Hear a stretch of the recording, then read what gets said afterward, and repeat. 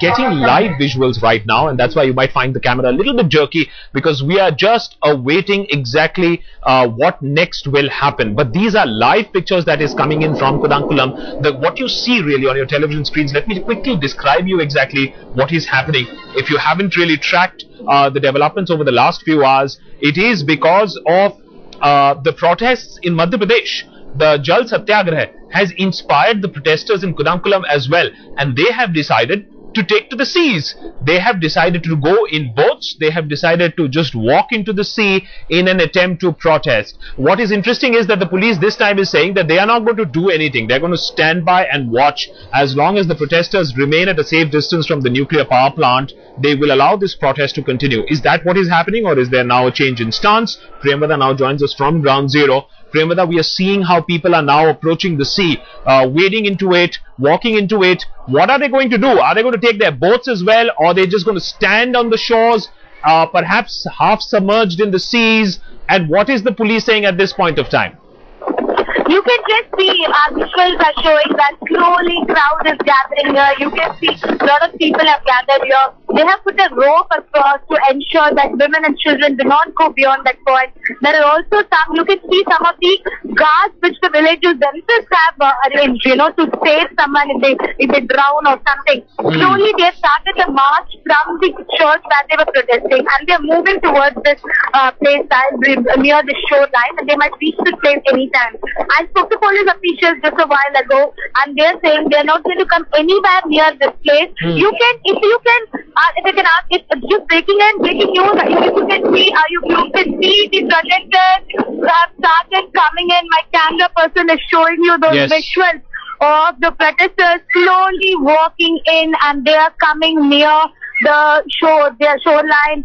They will just come. They are shouting slogans against the Kudankulam power plant. They will come in full strength and assure. They have four major demands, Akash. Number one, scrapping of this plant to release of those 51 persons have been arrested so far after that violence two days back. Number three, to remove all the charges against them.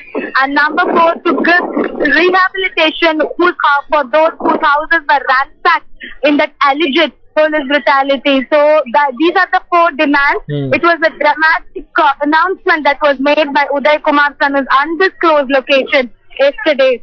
And we should remember this PMANE organization, this intense protest has been on for almost a year now. When Yes. it started in last one year, it has intensified. Of course, we know the pr- struggle began in 1989, but the people in this small village had no clue about it. Yes. But slowly the momentum started building, and you can now see them coming in full strength.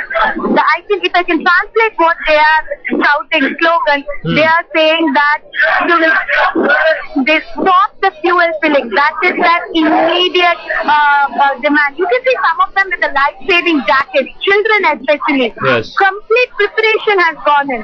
You can see the life-saving jacket, life-saving jackets that the children are uh, wearing. They are shouting that fuel filling should be stopped immediately. Okay. And we know that fuel filling was going to begin i- in another two or three days in Kudankulam nuclear power plant. If I can ask my camera person to zoom in and show the nuclear power plant, it's hardly two, two kilometers away from the project is happening. Okay, Akash, now we are just, it is reached its climax. People are jumping into the sea.